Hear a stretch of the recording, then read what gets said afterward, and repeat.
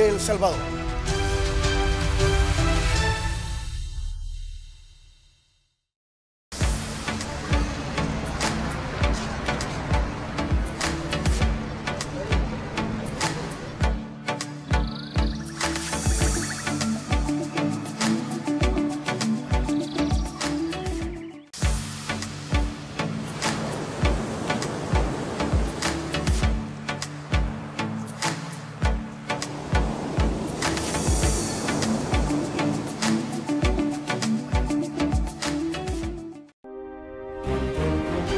Combatimos la desinformación, hacemos periodismo.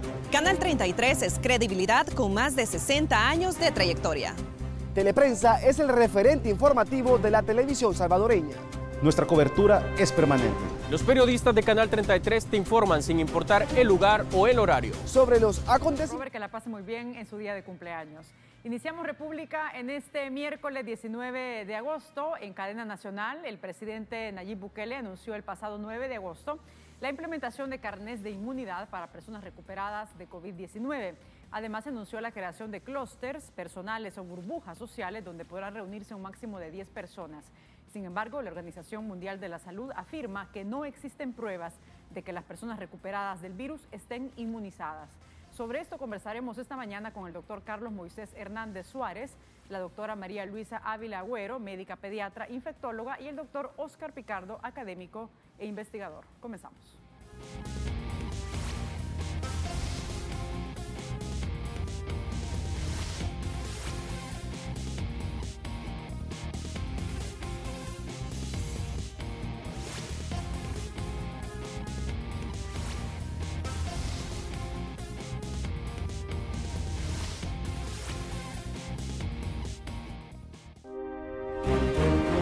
Combatimos la desinformación, hacemos periodismo. Canal 33 es credibilidad con más de 60 años de trayectoria. Teleprensa es el referente informativo de la televisión salvadoreña. Nuestra cobertura es permanente. Los periodistas de Canal 33 te informan sin importar el lugar o el horario. Sobre los acontecimientos que impactan en tu vida. Nuestra transmisión es multiplataforma. Estamos en la televisión, pero también en la palma de tu mano. Llevándote la noticia a donde te encuentres con tecnología y recursos multimedia en vivo. Somos análisis y opinión. Nos caracteriza la independencia y estamos comprometidos con escuchar todas las voces. La profundidad y rigurosidad de nuestras entrevistas te permiten entender la realidad desde un pensamiento crítico. Vamos más allá de las fronteras. Nuestras transmisiones en simultáneo en nuestras plataformas digitales. Permiten que nuestras noticias lleguen a todos los rincones de El Salvador. Conectándonos con los salvadoreños en el exterior. Este es el equipo de Canal 33. Hacemos periodismo.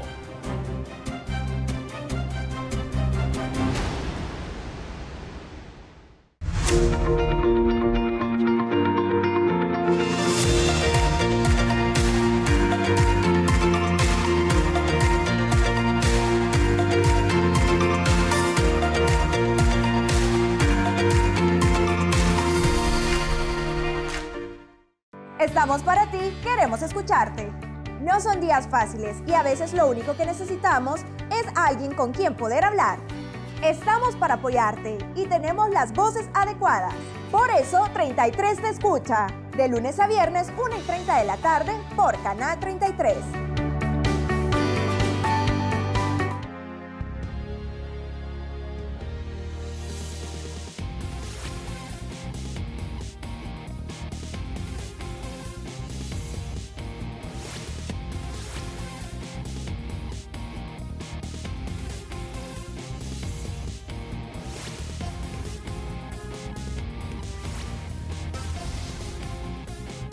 Bien, y para conversar los temas que ya le poníamos en resumen, doy la bienvenida al doctor Carlos Moisés Hernández Suárez desde México. Actualmente él es profesor, investigador de la Facultad de Ciencias de la Universidad de Colima. Doctor, buenos días, gracias por estar con nosotros.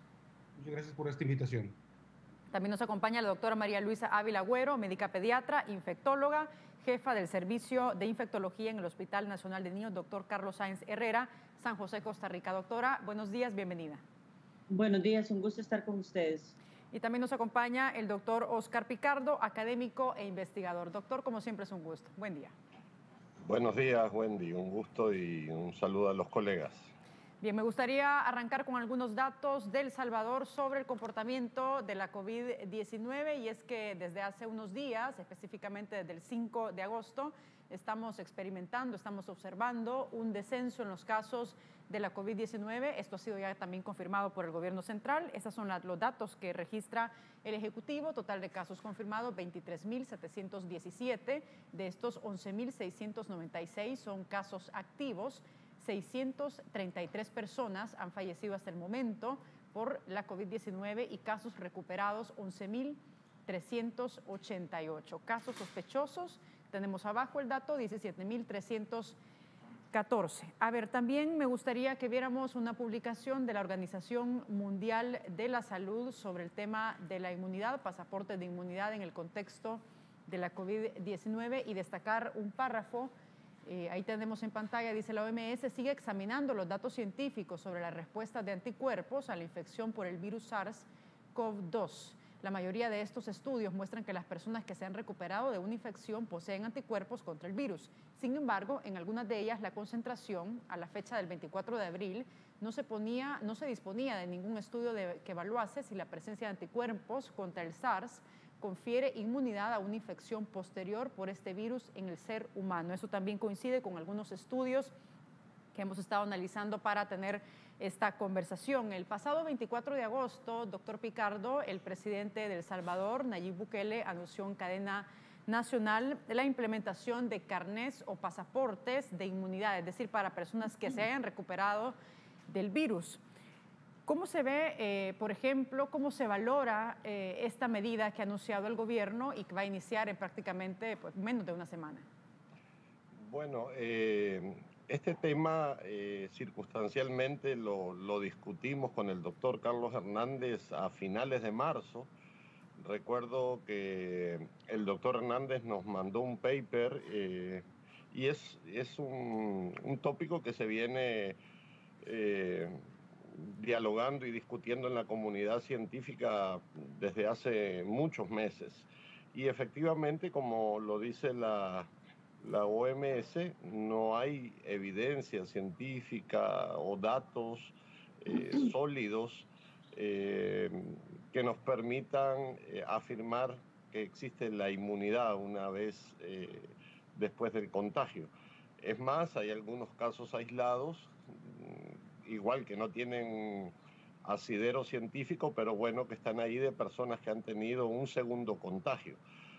Por lo tanto, eh, cualquier medida de política pública sanitaria, creo yo que es sumamente importante que se base eh, en evidencia científica, ¿verdad? En, datos, en investigaciones y que no sea por eh, copiar modas o o estrategias como ha sido muy recurrente en esta pandemia, ¿verdad? Eh, que algo funciona en algún país, se copia y después se copia otra cosa de otro país, sobre todo en los tratamientos farmacológicos. Hemos visto una cantidad de, de episodios que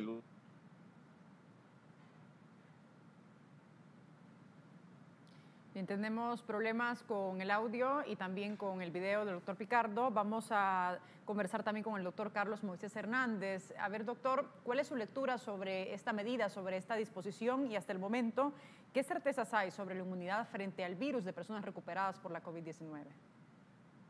Sí, mire, uno de los mayores problemas no solamente es que no se está seguro de que se adquiere inmunidad, ese es el menor de los problemas. El mayor problema está que se duda mucho de nuestra capacidad de poder detectar esa inmunidad. Ya se, se, estudió, ya se determinó que en muchos casos, especialmente en aquellos casos de infecciones leves, es imposible detectar las pruebas de tamizaje, detectar los, los anticuerpos.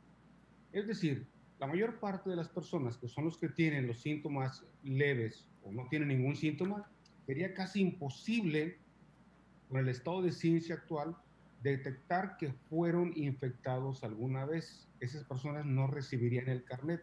En realidad puede ser que estén inmunes, pero no podríamos detectar que están inmunes. Ese es el mayor problema. No que no sean inmunes, que no vamos a poder tener capacidad para detectarlos. Es un virus que se está comportando de una forma muy extraña. Otros virus son fáciles de detectar. Y aquí no, se dice que a los 15 días, una persona que tuvo síntomas leves o, o no síntomas, es imposible prácticamente detectar que esa persona estuvo alguna vez infectada. A ver, eh, doctora, ¿qué dicen los estudios hasta el momento sobre esta capacidad de inmunidad que puede existir y el tiempo, sobre todo, que es un factor también importante, es decir, cuánto tiempo eh, pueden estar generándose los anticuerpos en personas recuperadas de la COVID-19? Eh, sí, efectivamente, lo que se menciona es que posiblemente nosotros podamos tener anticuerpos después de una infección por unos tres meses. Esos anticuerpos, ¿qué tan efectivos son para neutralizar una segunda infección? Es lo que no se sabe. Lamentablemente, y mis colegas que me precedieron en la palabra lo mencionaban, uno de los problemas que está es en cómo detectar esos anticuerpos. Se han hecho estudios en Nueva York, por ejemplo, que tuvieron tantos casos y no aparecía ni siquiera un 20% de las personas con una serología positiva por el, por el SARS-CoV-2. Entonces, la idea del pasaporte eh, inmunitario no tiene como mucho sentido porque no sabemos si eso funciona o no y probablemente no funcione. Porque con este tipo de virus, primero, se sabe poco. Segundo, los anticuerpos caen. Tercero, solamente las personas que tuvieron enfermedades muy graves tienen anticuerpos lo suficientemente elevados como para ser detectados. Y cuarto, no es algo que sea muy práctico de realizar en ningún país para decir, usted tranquilo, no, no le va a dar un segundo cuadro de, de COVID-19. Bien, me gustaría sobre esto que viéramos unos datos del estudio, de un estudio de la King's College en Londres.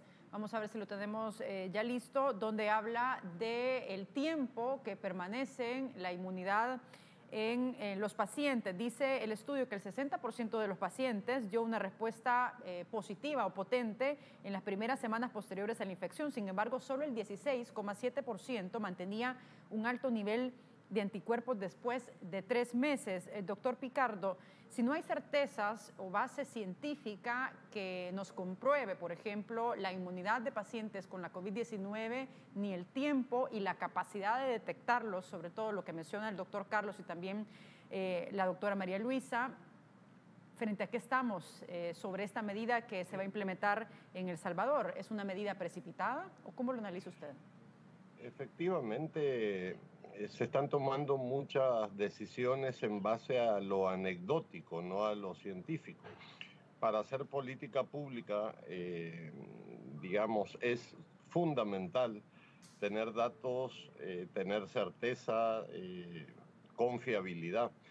Y, hemos visto en muchos países, desde el uso de los famosos túneles de desinfección que se pusieron de moda, hasta otras prácticas, hasta esto del pasaporte o el carnet de inmunidad, eh, digamos, son decisiones, son respuestas políticas y no científicas, ¿verdad? Lamentablemente, bueno, no lamentablemente, eh, el manejo de la pandemia lo hacen los gobiernos y eh, hay mucho criterio político de, de imagen, de intentar dar un placebo a la ciudadanía, eh, de proyectar que se están haciendo cosas, pero eh, estamos dejando de lado a la ciencia.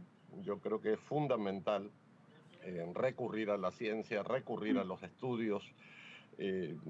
digamos, yo te agradezco muchísimo, Wendy, que tú, por ejemplo, invites a, a, profesionales de este nivel porque son los que refrescan el debate científico en las noticias, ¿verdad?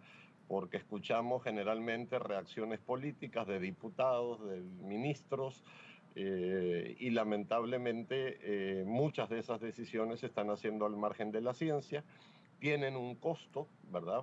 Porque hacer este pasaporte implicará registros, implicará eh, cientos de miles de dólares. Es más, el presidente dijo que iba a contratar con un salario de 500 dólares a todos los que tuvieran el carnet de inmunidad para involucrarlos en actividades de apoyo a la pandemia. O sea, estas decisiones tienen un costo muy alto eh, y lamentablemente, digamos, no, no son firmes, no son contundentes y, bueno, quizás las cosas pueden salir más o menos bien, quizás no, es como una ruleta. Y, con la salud pública no hay ruletas, tienen que ser criterios científicos. Bien, son las 7 de la mañana con 14 minutos. Voy a hacer la primera pausa y regresamos con más de este análisis. Y les recuerdo que utilizar mascarilla lo protege a usted y a los demás de un contagio de COVID-19. Lave o desinfecte sus manos antes y después de colocarse la mascarilla. Cubra su nariz y boca con la mascarilla, asegúrese que quede bien ajustada. Evite tocar la mascarilla mientras la lleva puesta. Hagamos valer el trabajo del personal de primera línea en su combate al virus. Si usted se cuida, cuidamos al resto. Regresamos con más de República. No nos cambie.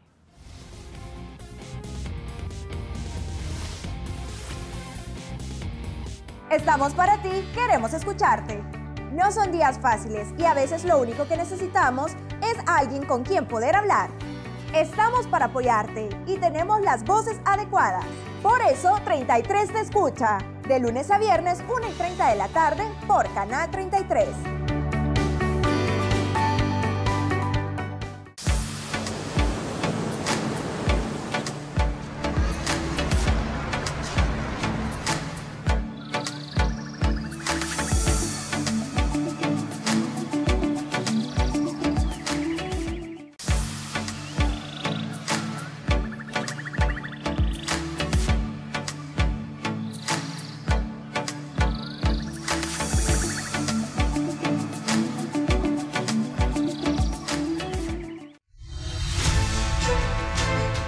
La credibilidad es nuestro compromiso. Ser veraces e imparciales es nuestra vocación. Queremos escucharte. Participa de la noticia en nuestras redes sociales. Infórmate de lunes a viernes a las 5.30 de la mañana, 12.30 del mediodía y 7 de la noche. Somos Teleprensa, el primer noticiero de El Salvador.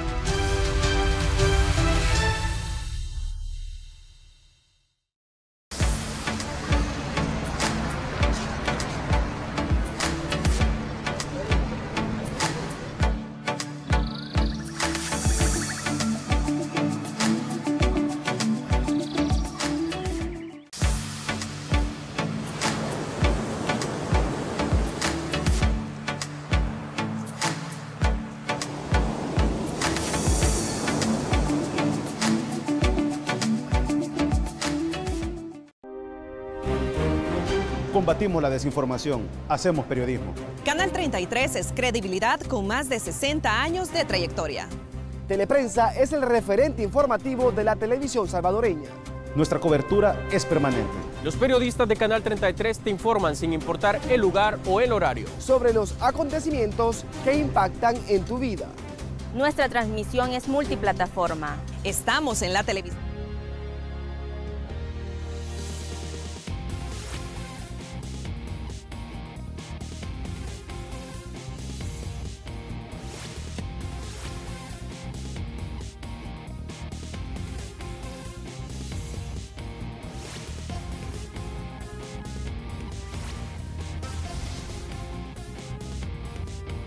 Son las 7 de la mañana con 17 minutos. Continuamos con más de República y en su pantalla tiene las plataformas digitales a las que puede acceder para poder enviarnos sus preguntas, comentarios o reacciones de los temas que abordamos esta mañana. Hablamos de la propuesta del carnet de inmunidad por la COVID-19 que presentó el gobierno hace algunos días, el pasado 9 de agosto para ser concretos. Ahí tenemos en pantalla las cuentas de Twitter, República 33 TV, nos encuentra también a través de WhatsApp 7318 7627. Estamos en Facebook, República TV 33 y en la página web canal33.tv. Conversamos esta mañana con el doctor Carlos Moisés Hernández. Desde México nos acompaña. Él es profesor investigador de la Facultad de Ciencias de la Universidad de Colima. También nos acompaña la doctora María Luisa Ávilo, Ávila Agüero, médica pediatra, infectóloga, jefa del servicio de infectología en el Hospital Nacional de Niños, doctor Carlos Sáenz Herrera, San José, Costa Rica. Y conversamos con el doctor Oscar Picardo, académico e investigador, sobre esta iniciativa de carnet de inmunidad que presentó el gobierno hace algunos días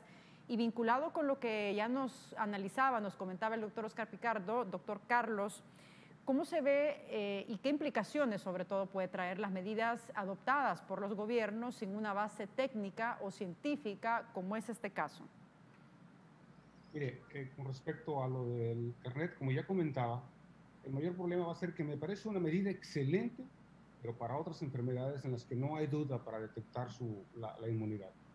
Eh, nosotros, como dijo el doctor Picardo, estuvimos trabajando con ellos en un proyecto hace dos meses, pero no esperábamos esta respuesta del virus, no esperábamos y no contábamos con nuestra incapacidad para detectar si una persona está inmune o no. Y con esto anula prácticamente cualquier plan que se tenga de, de otorgar un carnet. Van a terminar otorgando muy pocos carnet muy pocas personas son las personas que van a creer que están inmunes y no es así. Si usted ve la ciudad de Nueva York, la epidemia ya terminó prácticamente en la ciudad de Nueva York. La curva ya agotó todas las personas que tienen que infectar, ya no va a haber rebrotes significativos. Sin embargo, cuando prueba la inmunidad de las personas, menos del 20% de las personas en Nueva York aparentemente fueron infectadas, lo cual es prácticamente imposible. Y si va a Suecia, que no tuvo ningún control prácticamente sobre, el movimiento de los individuos, también el grado de infección aparentemente fue menor del 20%. Entonces todo el mundo sabe que es imposible lo que está sucediendo. En otras palabras, y lo repito, el carnet sería muy útil para otra enfermedad, no para esta que nos tiene realmente pasmado.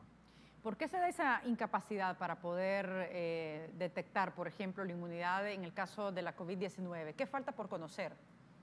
realmente hace falta por conocer todo. Yo creo que después de que pase esta pandemia va a dejar a la sociedad y a los científicos con un conocimiento amplio de la inmunología, porque está demostrando que sabemos muy poco sobre la inmunología. Sabemos muy poco realmente. A ver, eh, doctora eh, María Luisa, eh, en su caso, desde su análisis, si la inmunidad, por ejemplo, no es total o se reduce con el paso de las semanas, como lo muestran algunos estudios, que es lo que hemos conversado al inicio, ¿qué riesgos pudiesen existir, sobre todo, de implementar estas medidas, sobre todo para la salud de los ciudadanos?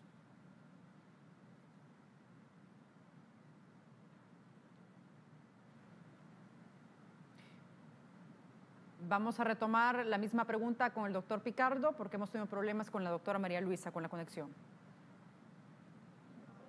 Sí, eh, bueno, retomando lo, que decía la doctora María Luisa, efectivamente eh, corremos el riesgo del exceso de confianza, eh, confiarnos de que, de que ya somos inmunes y corremos el riesgo de digamos, posibilitar o generar una segunda ola de, infección y rebrotes. Yo creo que ese es el principal riesgo, ¿verdad? La gente por naturaleza se confía, la gente, digamos, por sus rutinas empieza a bajar la guardia en medidas de bioseguridad, a dejar de usar la mascarilla, soy inmune.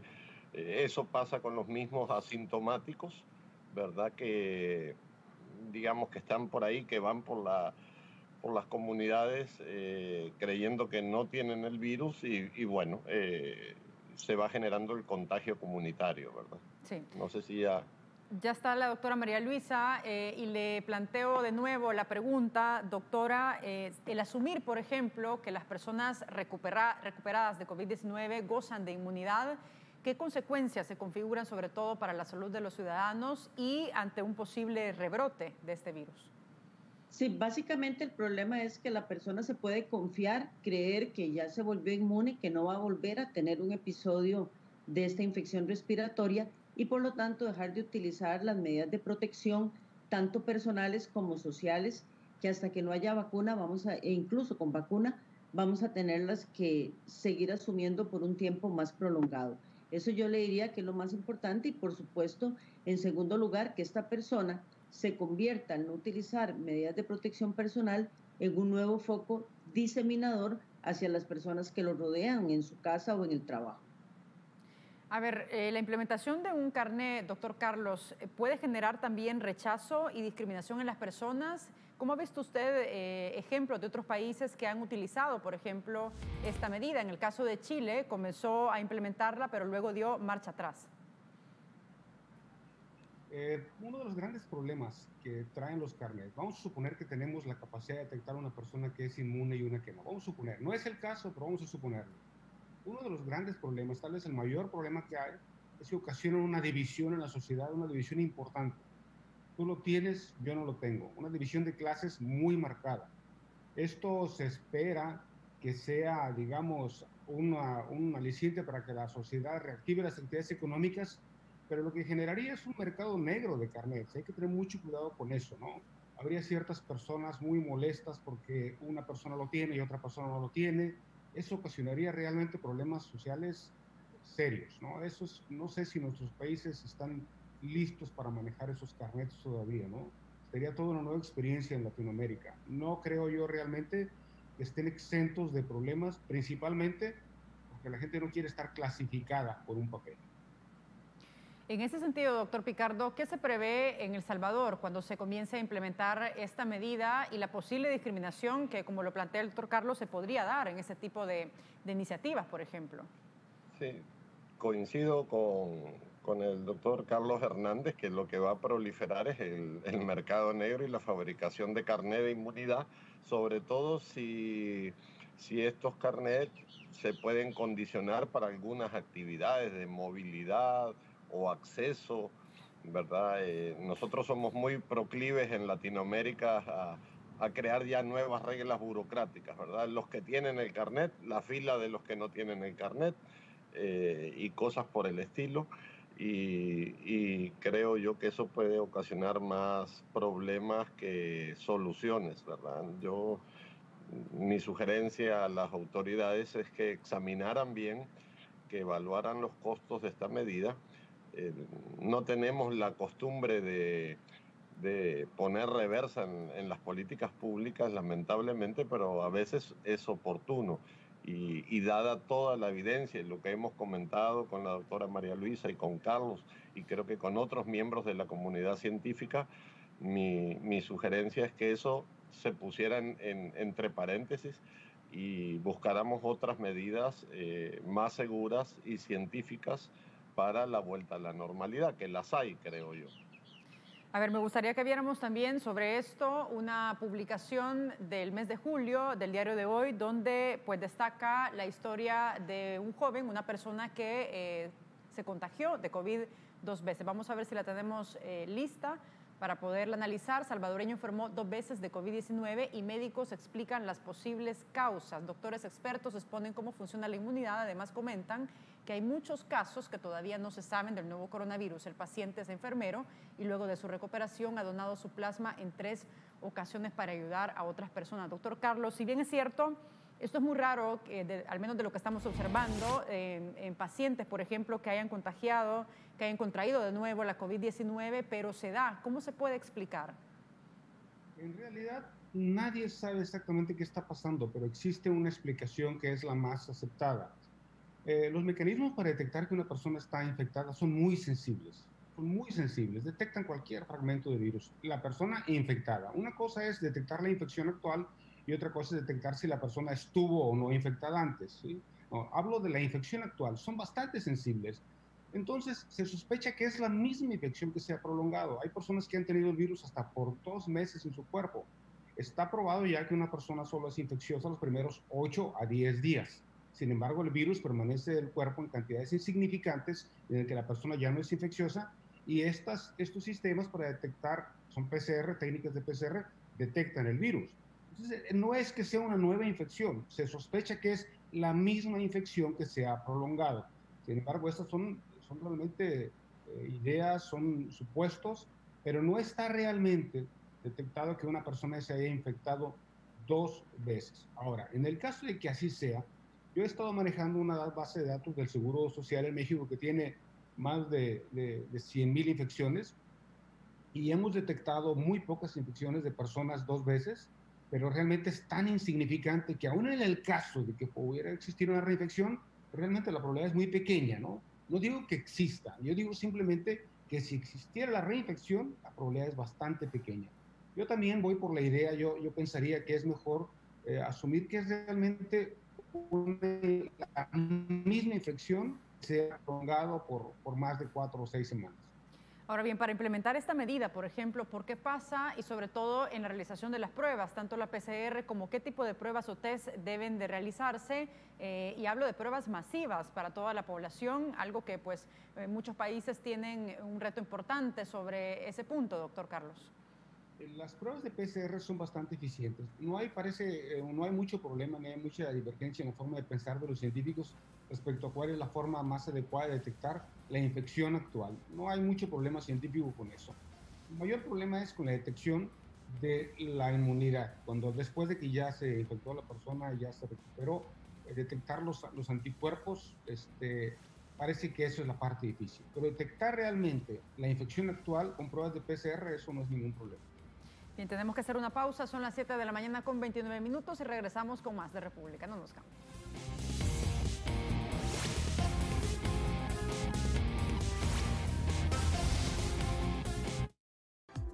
Wendy Monterrosa viste gracias a Mi Aboga. Su vida depende de usted mismo. Evite tocarse nariz, ojos y boca. Este es un mensaje de la Universidad Tecnológica de El Salvador. La credibilidad es nuestro compromiso. Ser veraces e imparciales es nuestra vocación. Queremos escucharte. Participa de la noticia en nuestras redes sociales. Infórmate de lunes a viernes a las 5.30 de la mañana, 12.30 del mediodía y 7 de la noche. Somos Teleprensa, el primer noticiero de El Salvador.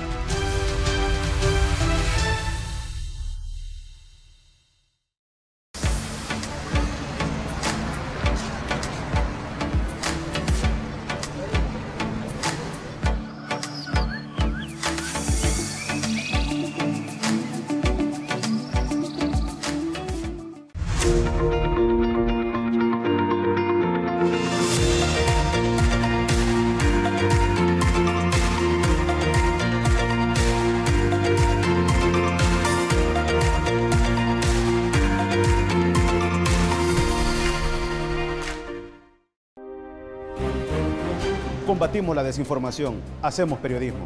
Canal 33 es credibilidad con más de 60 años de trayectoria. Teleprensa es el referente informativo de la televisión salvadoreña. Nuestra cobertura es permanente. Los periodistas de Canal 33 te informan sin importar el lugar o el horario. Sobre los acontecimientos que impactan en tu vida. Nuestra transmisión es multiplataforma. Estamos en la televisión, pero también en la palma de tu mano. Llevándote la noticia a donde te encuentres con tecnología y recursos multimedia en vivo. Somos análisis y opinión. Nos caracteriza la independencia y estamos comprometidos con escuchar todas las voces. La profundidad y rigurosidad de nuestras entrevistas te permiten entender la realidad desde un pensamiento crítico. Vamos más allá de las fronteras. Nuestras transmisiones en simultáneo en nuestras plataformas digitales. Permiten que nuestras noticias lleguen a todos los rincones de El Salvador. Conectándonos con los salvadoreños en el exterior. Este es el equipo de Canal 33. Hacemos periodismo.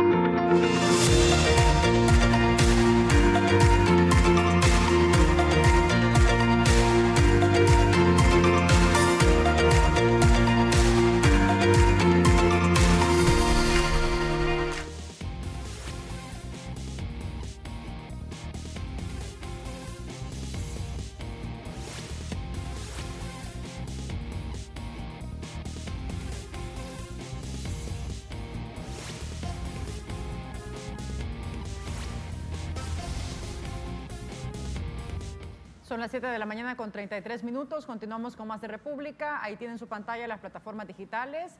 Ahí estamos en la cuenta de Twitter como República 33 TV. También nos encuentra a través de WhatsApp 7318 7627, Facebook República TV 33 y en la página web canal33.tv. Hablamos de la propuesta de carné de inmunidad que ha presentado el gobierno y de otras también, como la que tiene que ver con los clústeres o burbujas sociales. Hablamos de una serie de medidas que están implementando los gobiernos para enfrentar la COVID-19. Doctora, en el caso de Costa Rica, por ejemplo, ¿qué medidas, qué acciones puede usted destacar como eh, certeras que están haciendo para poder enfrentar la COVID-19 y a su juicio, ¿qué falta por hacer? Porque esta que estamos analizando, por ejemplo, esta mañana tiene que ver en el marco de la reapertura económica de la fase 2 que inicia El Salvador a partir del 24 de agosto.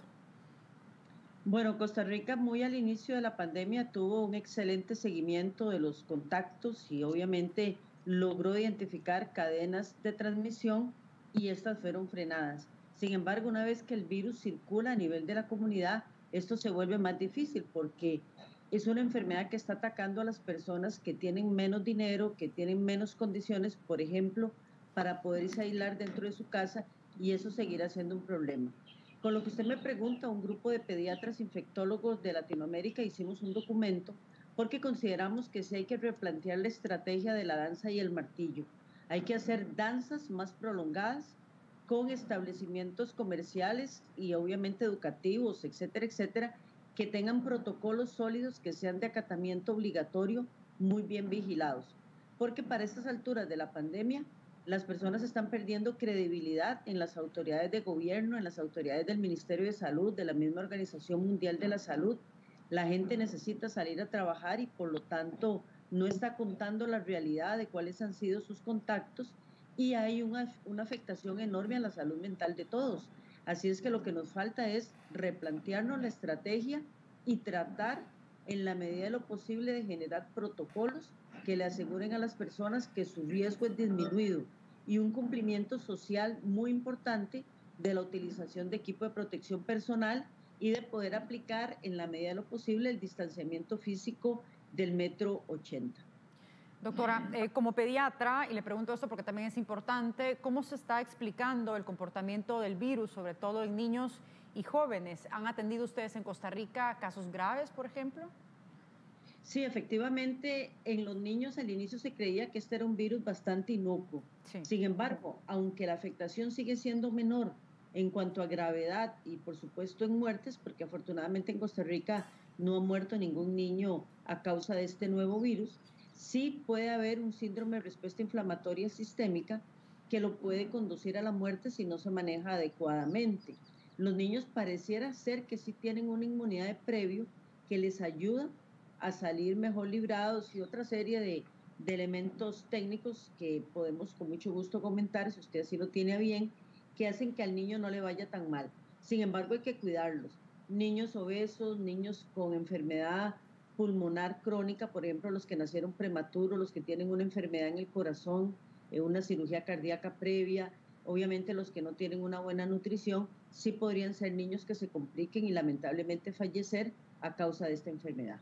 ¿Cuáles son esos factores, por ejemplo, que podría explicar que a los niños, pues efectivamente, si bien es cierto, eh, pueden contagiarse por COVID-19, digamos que hemos, lo que hemos observado a lo largo del comportamiento de varios países en el mundo es que no, es, no se dan casos, digamos, tan constantes graves de la COVID-19, como por ejemplo en los adultos? Sí, básicamente uno es que los niños han estado expuestos a otros coronavirus. Hay cuatro que les producen mucha mucosidad y por eso en casi toda Latinoamérica les decimos a los chiquitos mocosos. Entonces posiblemente esos cuadros que ellos han sufrido le han permitido generar anticuerpos de protección cruzada, o sea, un anticuerpo que reconoce al nuevo coronavirus y hace que no sea tan letal. Número dos, los niños obviamente son más sanos, tienen menos enfermedad pulmonar que los adultos. Número tres, los receptores del pulmón a donde el virus se pega en los niños tiende a ser más eficiente para destruir el virus sin producir una gran reacción inflamatoria en ese órgano, que es lo que ha pasado con muchos de los adultos. Y por otro lado, hay una, teoría que dice que a los niños los tenemos muy retados su sistema inmune con las vacunas que le ponemos. Entonces tienen un sistema inmune que les ayuda a rápidamente generar protección contra este nuevo coronavirus y que es otra de las razones que se postula posiblemente hace que los niños estén mejor protegidos. Lo que pasa también es que usted ve, los mismos recién nacidos no les va tan mal. Posiblemente la teoría que mejor lo explique es la teoría del receptor a nivel pulmonar, que es un receptor, llamémoslo, más amigable que los receptores que tenemos los adultos. ¿Ha registrado en Costa Rica, doctora, eh, muertes eh, de niños por COVID-19? Afortunadamente no todos nuestros niños han salido bien librados y con estancias hospitalarias cortas. Por supuesto que sí hemos tenido algunos niños con otras enfermedades que además tienen COVID, que por supuesto su estancia hospitalaria se ha prolongado, pero la enfermedad por este nuevo coronavirus en sí no les ha producido grandes problemas. Doctor Carlos, eh, también en El Salvador, como parte de las medidas que han sido anunciadas en el marco de la reapertura económica, eh, se habla también de la implementación de los clústeres o burbujas sociales, que es una acción que hemos visto que otros países en el mundo también han estado implementando. ¿Cómo se evalúa esta disposición? ¿Qué tan factible puede ser en este momento que tenemos de comportamiento de la pandemia, sobre todo en las Américas? Esa es una muy buena pregunta. Yo creo que en realidad esa sería la solución de nuestros problemas si se, hicieran los clusters, pero creo prácticamente imposible que se puedan hacer, y mucho menos vigilar. Déjame explicarle. Creo que en su país y en el mío siempre pasa el problema de las fiestas navideñas y de las fiestas de fin de año, ¿no? Que todo el mundo se molesta porque eh, en esta ocasión te fuiste con tu familia y no te fuiste con la mía, ¿dónde vamos a pasar la Navidad? ¿Dónde vamos a pasar? Es difícil hacer esos grupos. En una misma familia este, está el esposo, la esposa, los hijos. La pregunta es, ¿todos van a pertenecer al mismo clúster? Parece que sí, en realidad. Pero en realidad eso va a ser imposible. Eh, yo no voy a poder hacer un clúster con otras nueve personas porque no es fácil. No estamos en la primaria o en la secundaria en la que dicen, hagan equipos de cinco para presentar una tarea y que es algo realmente irrelevante. Estamos hablando de con quién vamos a convivir durante todo el resto de la pandemia. Yo eh, le aseguro, va a ser imposible hacer esos clústeres siempre se va, va, a haber divisiones, muchas divisiones, va a haber muchos disgustos, ¿por qué estás en este grupo y por qué no estás en el mío? No se van a poder armar. Y si se llegaran a armar, no se van a poder vigilar eficientemente. Repito, me parece una, una idea que terminaría con nuestros problemas, o realmente los disminuiría mucho, sería una buena medida de mitigación, disminuir la tasa de contactos, pero prácticamente creo imposible que se pueda implementar en la práctica. Y podría hacerse un ejercicio, simplemente eh, preguntándole a la gente, darle unos días para que hiciera sus grupos y después ver si los pudieron hacer. Doctor Picardo, sobre este punto, ¿qué papel juega, qué rol tiene la cultura y la educación? Bueno, ahí, antes de responder, hay un video que, que está en YouTube del doctor Carlos Hernández que se llama ¿Qué pequeño es el mundo? Eh, eh, a mí me ha gustado mucho ese material, lo he comentado y lo pueden encontrar en donde explica justamente el doctor Hernández las, relaciones entre sujetos y, esa circunstancia muy recurrente cuando eh, empezamos a hablar con alguien que conoce a otra persona que nos conoce y, bueno, eh, a través de ese video eh, se explica muy bien este tema de los clústeres.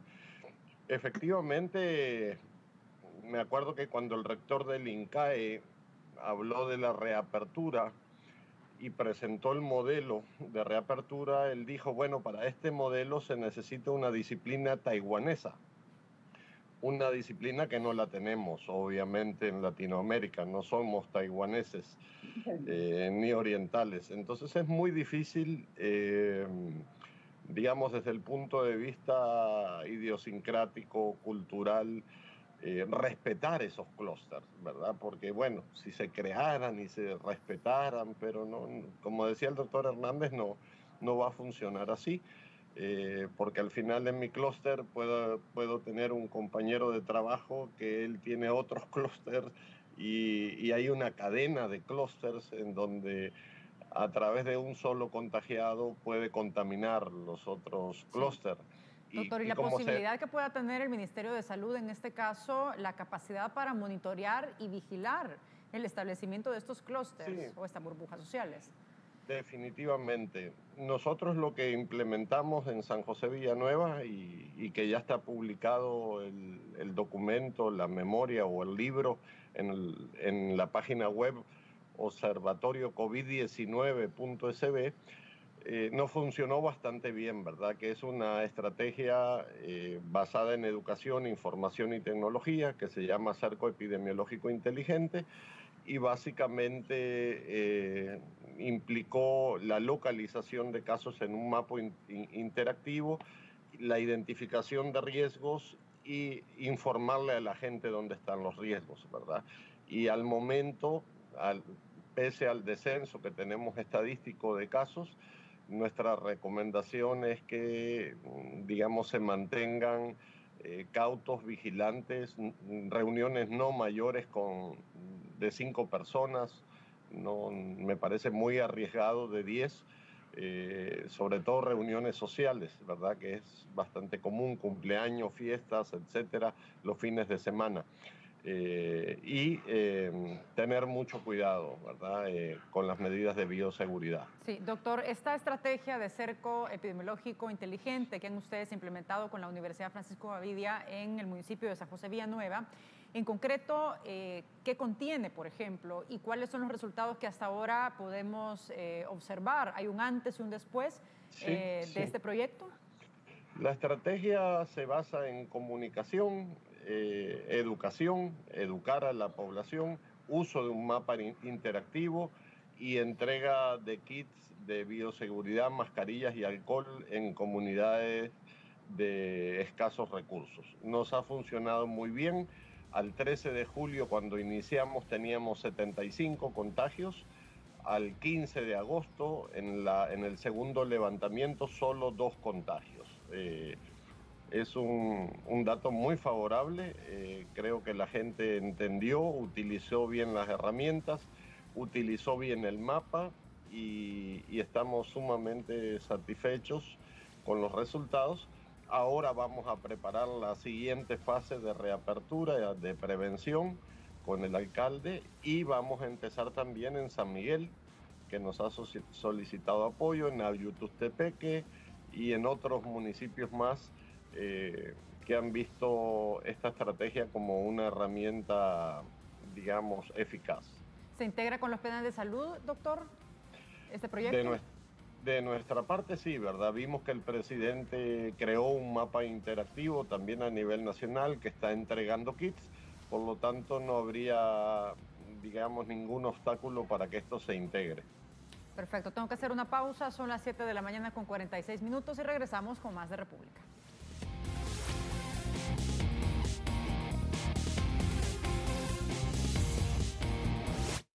La imagen de Wendy Monterrosa es gracias a Wilfredo Barraza, hairstylist and makeup artist. Más ahorro todo el día por 7 días. Similac 3 850 gramos 15.99. Nestlé Nido Protección 1 más bolsa 2200 gramos 18.99. Yogurt líquido Yes 750 gramos. La credibilidad es nuestro compromiso. Ser veraces e imparciales es nuestra vocación. Queremos escucharte. Participa de la noticia en nuestras redes sociales. Infórmate de lunes a viernes a las 5.30 de la mañana, 12.30 del mediodía y 7 de la noche. Somos Teleprensa, el primer noticiero de El Salvador.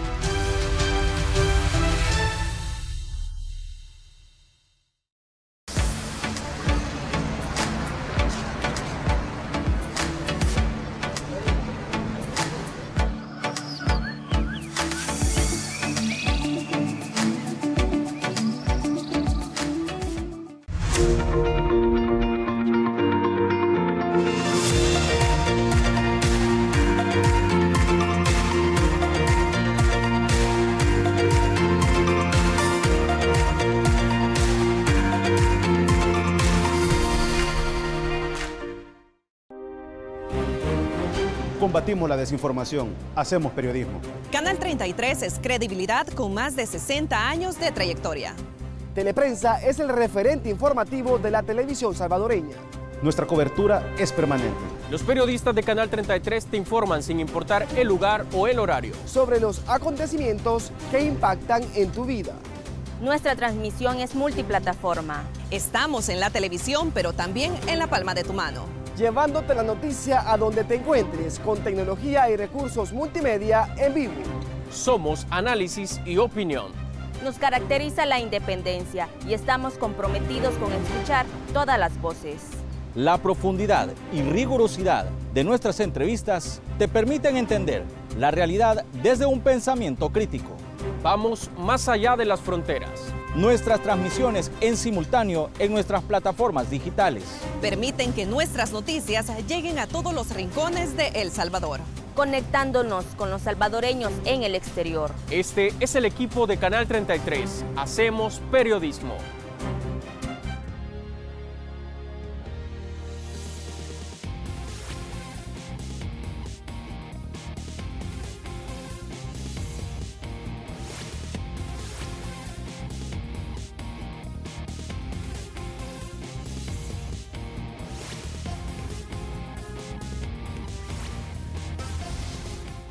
Las 7 de la mañana con 49 minutos. Continuamos con más de República y conversamos esta mañana con el doctor Carlos Moisés Hernández Suárez desde México. Él es profesor investigador de la Facultad de Ciencias de la Universidad de Colima y también nos acompaña la doctora María Luisa Ávila Agüero, médica pediatra, infectóloga, jefa del servicio de infectología en el Hospital Nacional de Niños, doctor Carlos Sáenz Herrera, San José, Costa Rica y nos acompaña también el doctor Oscar Picardo, académico e investigador. Vamos a dar paso a algunos comentarios y preguntas que nos han llegado en esta hora de programa para que ustedes puedan responder. Ahí tenemos el primer comentario o reacción. Ahí tenemos una pregunta. Irma Aguilar dice, desde diciembre hasta la fecha, ¿qué avances certeros hay de cuándo se va a acabar la pandemia? Vamos con otro comentario. Joro dice, lastimosamente el criterio científico nos ha fallado. Hasta la Organización Mundial de la Salud ha dado recomendaciones erróneas de cómo tratar la COVID-19. Vamos con otro más. Alexander Puerta pregunta, si no hay datos de inmunidad, ¿nos va a tocar a todos en cuarentena hasta que exista una vacuna? Angie dice, en Costa Rica se suspendió la reapertura económica. ¿Cuál fue la causa y qué aconseja para la reapertura de El Salvador? Vamos con otro comentario. Ahí tenemos César Chica. Dice, hola, en Monterrosa, si no hay duda de la sensibilidad de la prueba PCR y con una negativa podemos decir que el paciente ha sanado. No entiendo. ¿Cómo entonces la reinfección se le atribuye a que la enfermedad nunca se fue? Ahí tenemos interesantes preguntas y comentarios. Eh, tenemos otro más. Si la inmunidad provocada por la enfermedad natural solo dura tres meses, ¿cuándo puede demostrarse? ¿En qué se basa el programa de donantes de plasma y qué podríamos esperar de la eficacia de una vacuna? Doctora María Luisa, comenzamos con sus respuestas. Bueno, excelentes preguntas. Voy a empezar con la de la PCR. Posiblemente la persona que la hizo eh, tiene un, un error de concepto. La PCR lo que mide es a nivel del moco nasal restos del virus la inmunidad de largo plazo es la que se mide en la sangre, ¿verdad? Que es la serología. Entonces son dos cosas diferentes. Y la PCR, que se toma la muestra nasofaringia, sí es sumamente sensible. No tiene ni siquiera reacción cruzada con algunos otros coronavirus, o sea, es sumamente sensible y específica. Costa Rica no es que haya evitado o no haya seguido adelante con la reapertura económica, sí se está haciendo, y con respecto a la vacuna, en este momento ya hay ocho vacunas en fases finales de investigación. Creo que las vacunas nos van a ayudar bastante a controlar esta pandemia. Sin embargo, para la persona que decía que hasta que llegue la vacuna nos vamos a caer en cuarentena, pues obviamente no. Incluso con la vacuna vamos a necesitar algunas medidas más de salud pública. Y un, un aspecto que hemos venido insistiendo mucho es el concepto de autogestión de riesgo si yo soy una persona de X edad que tengo enfermedades crónicas y puedo quedarme en mi casa porque puedo hacer teletrabajo, perfecto que lo haga. Si yo soy una persona que tengo que salir a trabajar, autogestiono mi riesgo, me lavo bien las manos, utilizo mascarilla y careta, puede ser que utilice las dos dependiendo de mi riesgo, trato de mantenerme alejada de las demás personas porque necesito salir a trabajar. Entonces yo creo que lo último que quería comentar con respecto a la Organización Mundial de la Salud, la persona que hizo el comentario tiene razón, pero también hay que ir entendiendo que este virus nos ha dejado a muchos, por así decirlo, dudando de muchos conceptos que antes teníamos. De esto venimos aprendiendo todos los días y los gobiernos lo que han venido haciendo es aplicando medidas basados en la mejor evidencia posible, evidencia que no siempre es perfecta. Doctor Carlos, sus comentarios. No le escuchamos y nos puede activar el micrófono, por favor. Está, activado. Ahora sí. Sí, ahora sí. Muchas gracias. Me parecen todas excelentes preguntas. En realidad, eh, quisiera retomar lo del avance de la epidemia, que es lo que nos tiene un poco más este, preocupados ahora. Miren, yo hice unos estudios con datos y, parece que, que, coinciden con otros resultados encontrados por otras personas en el mundo que tienen que ver con la letalidad del virus. Es decir, cuántas personas mueren de cada mil personas infectadas, por ejemplo. parece que la letalidad del virus anda cerca del 1.2, es decir, mueren aproximadamente 1.2 personas por cada mil infectados. Entonces, el seguimiento del número de decesos nos puede ayudar a ver qué tan avanzada está la enfermedad. Si uno ve, por ejemplo, San Marino, una pequeña región en Italia, eh, tiene 40 mil habitantes y ya hay decesos aproximadamente como en 1.3 por cada mil habitantes. Eso significa que la epidemia ahí ya terminó. Si uno ve la ciudad de Nueva York, también ya llegaron a este nivel de decesos por cada mil habitantes. Significa que la epidemia ya termina. Entonces, simplemente lo que tenemos que ver es, si queremos saber cuándo va a terminar la pandemia en una región, en una ciudad, en un estado, como sea, veamos cuántos habitantes hay y aproximadamente ocurrirán 1.2 muertes por cada mil habitantes. Eso nos puede ayudar a calcular cuánto falta para que termine la pandemia. La otra cosa que nos ha enseñado el virus, y esto para responder las, las preguntas que están ahí en, eh, que vinieron, es humildad. Creo que si algo nos ha enseñado el virus hasta ahora es humildad. Humildad especialmente a los científicos. Humildad también a los políticos, ¿no? Que no, no hemos podido organizarnos. Yo digo humildad porque ha demostrado que no sabemos nada de muchísimas cosas. Nada de inmunidad, eh, nada de cómo organizarnos, nada de cómo colaborar. Realmente sido problemas muy severos. Yo digo que si realmente ha habido una enseñanza por parte de este virus hasta ahora, ha sido volvernos humildes ante esta situación en la que realmente estamos atados de manos y nada más lo estamos viendo pasar.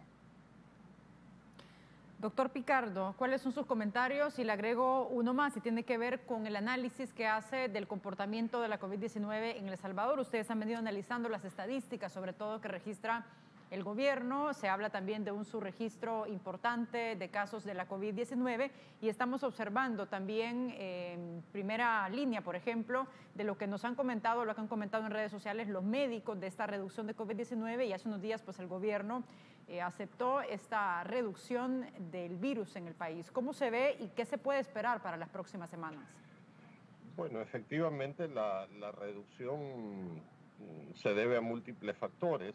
De hecho, nosotros estábamos muy pendientes en esta semana del, del 15 al 20 de agosto, porque se cumplían aproximadamente 15 días después de las vacaciones de agosto, eh, lo cual pudo haber implicado un crecimiento de casos. Eh, eh, curiosamente no fue así, el descenso se mantiene y creo yo que por un lado observamos más protocolos eh, y aplicados de forma recurrente en las empresas, farmacias, supermercados, que hoy por hoy son los principales, principales centros eh,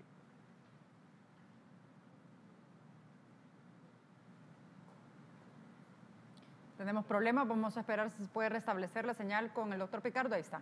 Le escuchamos, doctor. Sí. Entonces, eh, digamos, la gente está aplicando más las medidas, se está usando más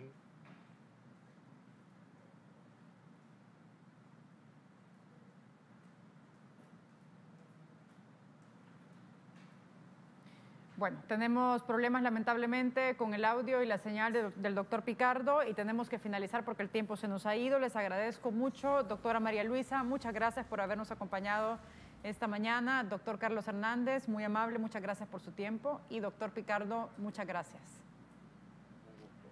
Perfecto. Con esto finalizamos. Así cerramos el programa República y doy paso de inmediato al programa de Mujer a Mujer. Ahí se encuentra Vero y también Ale. Buenos días. La credibilidad es nuestro compromiso. Ser veraces e imparciales es nuestra vocación. Queremos escucharte. Participa de la noticia.